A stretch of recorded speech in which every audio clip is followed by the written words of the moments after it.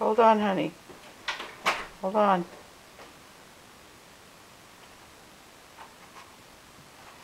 Do you hear it? Yeah. I'm trying to catch Sadie.